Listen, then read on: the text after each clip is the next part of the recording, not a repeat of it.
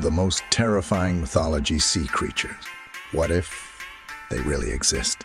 The Kraken is a legendary sea monster, often depicted as a colossal octopus or squid, Leviathan, massive sea serpent.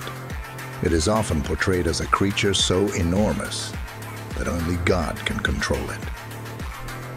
The Isonade is a legendary sea creature from Japanese folklore, described as a massive shark